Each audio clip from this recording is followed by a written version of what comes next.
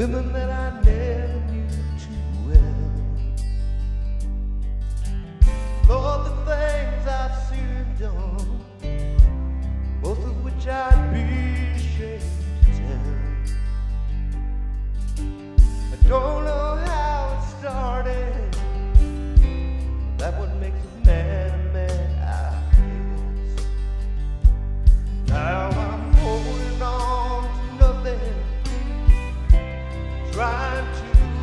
get